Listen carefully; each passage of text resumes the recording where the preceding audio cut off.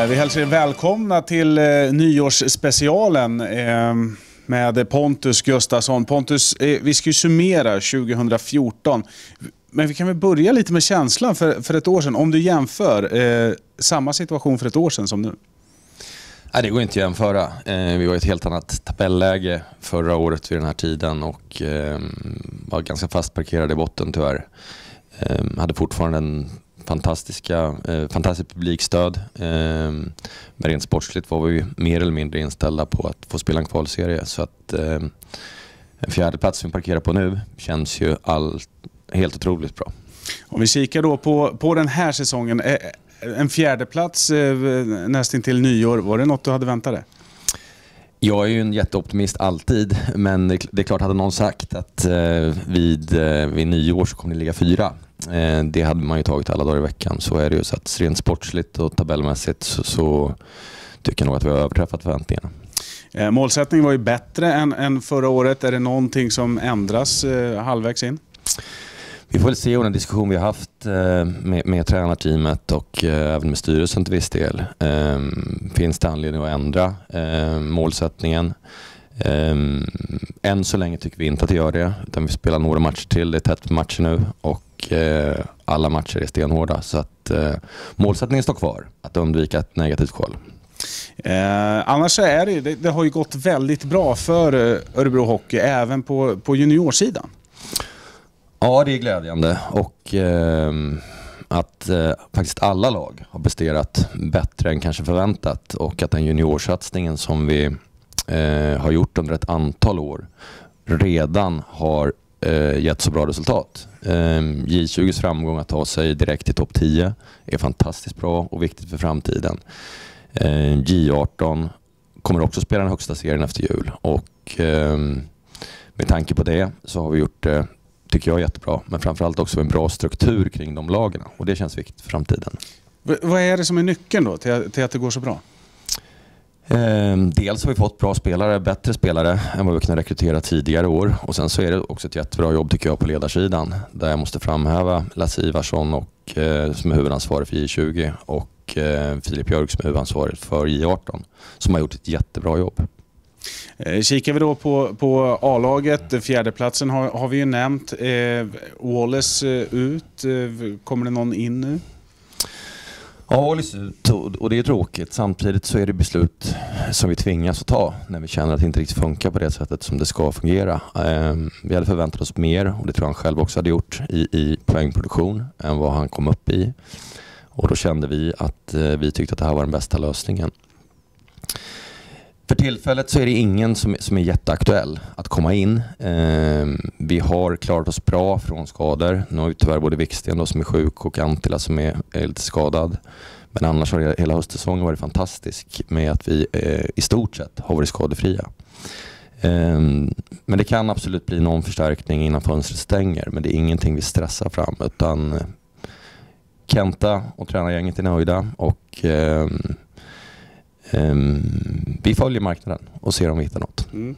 Ja, för det är ju så, eh, arbetet fortgår ju hela tiden. Hur, hur funkar det där med agenter och allt vad det är?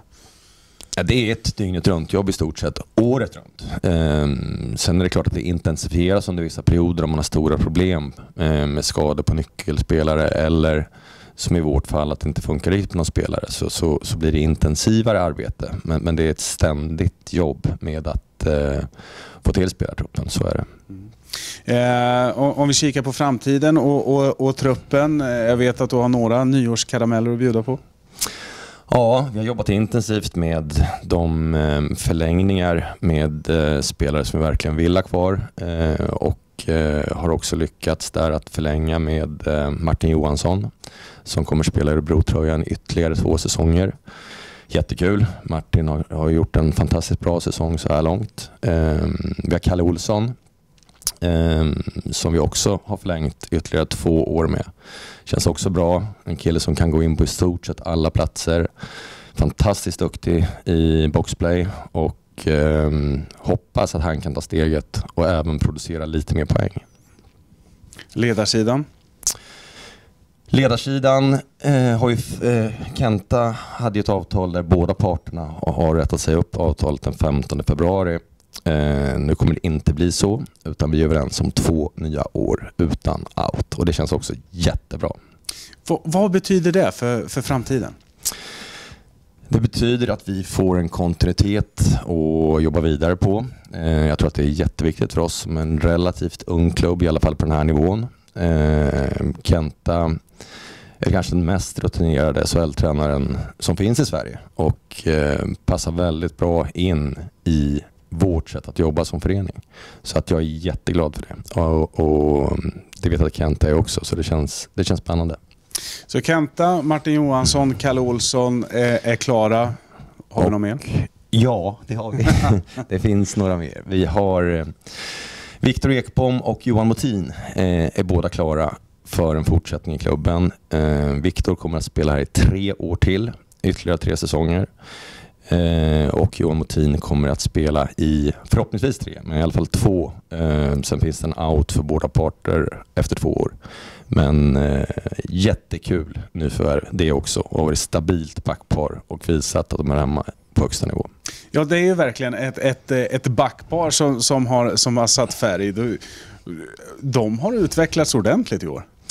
Ja, verkligen. Eh, mer än vad jag kanske vågat, hade vågat hoppas på. Bägge två har väldigt mycket istid och eh, är, eller kommer att utvecklas till riktiga broprofiler om de inte är det redan. Men det känns jättekul. Mm.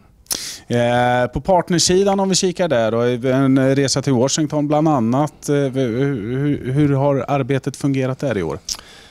Eh, där har vi tagit ytterligare steg, vilket känns jättekul. Vi har fler partners som jobbar med oss och eh, jag tycker att vi säljavdelningen har utvecklat samarbetet där och sättet som vi jobbar på på ett jättebra sätt. Vi har fler träffar, eh, vilket efterfrågades från våra partners och ehm, såklart en jätteviktig del för att kunna bygga den här föreningen vidare. Rent ekonomiskt, målsättningen där? Den har vi överträffat, vilket också är jättekul. Eh, vi vet att vi går in i tuffare krav från SHL med eget kapital och liknande. Så att eh, just nu så ser ehm, ekonomin och budgeten i föreningen väldigt bra ut. Kikar vi på organisationen eh, runt kring Örebro Hockey, hur går satsningen där? Vi har gjort ytterligare satsningar där, förstärkt säljsidan och förstärkt eh, eventsidan eh, ehm, med två nya rekryteringar. Eh, där tycker jag vi börjar ha en organisation nu som absolut håller högsta SHL-klass. Eh, så rent numerärt så ser jag inte att vi kommer förstärka ytterligare utan eh, fortsätta att utveckla det vi bygger på. Nu, ni, nu ska Pontus få kika in i spåkulan. Du, eh, det är drygt 20 omgångar kvar. Hur, hur kommer det här se ut? Det är jättetufft att tippa. Ehm, jag tycker vi har visat att vi har ett lag som definitivt kan slå alla lag i den här serien. Sen gäller det att ha lite flyt. Ehm, det gäller att vi har ett fortsatt bra målvaktsspel där Hodda har varit fenomenal. Enka har gjort det bra när han har kommit in också. Spännande att se nu Johannes när han kommer till oss. Ehm, vad han kan prestera. Han har gjort det bra i Vita Hästen. Målvaktsspelet är viktigt och, och fortsatt bra målvaktsspel och att vi lyckas trycka dit puckarna i kombination med ett bra försvarsspel så, så kommer det nog kunna gå riktigt bra. Mm. Eh, Huda Show har ju tagit eh, världen med, med storm. Hur, hur nöjd är du som general manager? Det är klart, för, för, vårt varumärke så betyder det fantastiskt mycket att ha profiler på olika sätt. Och Hodda är definitivt en profil. Jag tycker att han hanterar den situationen på ett fantastiskt bra sätt. Ehm, eh, och det är jätte, jättekul för publiken såklart att han bjuder på sig själv i den utsträckning som han gör. Så att, eh, toppen. Du, är, du har tittarna där. Det är dags att önska gott nytt år tänker jag. Ja, Tusen tack för att ni är med och stöttar oss och eh, jättekul att se så många i hallen där vi i stort sett har haft slutsålt eh, alla matcher vi har spelat. Fortsätt stötta oss och skapa och bidra till den fantastiska stämningen som vi har i hallen. Jättegott nytt år alla och tack för det här året.